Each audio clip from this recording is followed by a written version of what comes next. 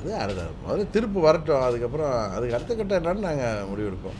அவங்க பதினெட்டு பேரும் இப்போ இன்னொன்று சொல்கிறாங்கல்ல இவங்க இவங்க எல்லாருமே அதிமுக உறுப்பினர் தான். அவங்க யாரும் கட்சி விட்டு அவங்க நீக்க முடியாத? நீக்கிட்டு போகாது அப்படி இல்லைன்னா அவங்க நீக்கியிருக்கணும். நீக்காமல் அதிமுக உறுப்பினர் இல்லைன்னு சொல்ல முடியாது.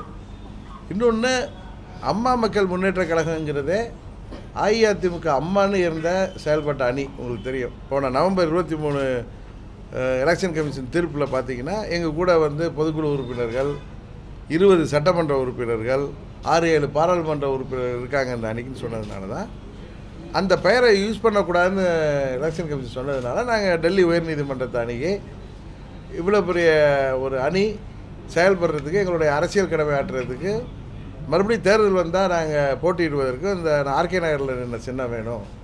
கட்சியின் பெயர் வேணும்னு கேட்டால் அவங்க அதை கோர்ட்டுக்கு போய் வாங்கிங்கன்னாங்க.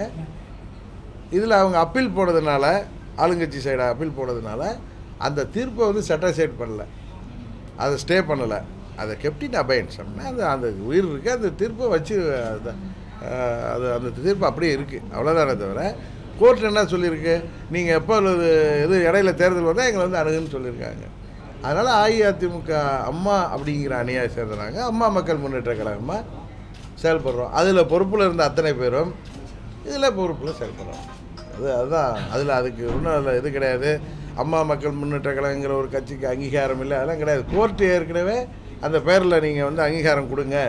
இந்த சின்னத்தை ப்ரிஃபரபிளி குக்கர்னு சொல்லியிருக்காங்க. அதை ஏற்கனவே திரும்ப பார்த்துருப்பீங்க. அதை வந்து இட் இஸ் கெப்டின் அபைன்ஸ் நிறுத்தி வைக்கப்பட்டிருக்கு. ரொம்ப தமிழில் கரெக்டாக சொல்லணும்னா அது சட்டசைடு பண்ணலை. அந்த தீர்ப்புக்கு தடை கொடுக்கல. நிறுத்தி வைக்கப்பட்டிருக்குது. அது அப்படியே இருக்குது அது இந்த கே இப்போ ரெட்டையில கேஸ் நடக்குது ஹைகோர்ட்டில் அதில் தீர்ப்பு வந்ததுக்கப்புறம் தான் அடுத்த கட்டம் என்னன்னு பார்க்கணும்.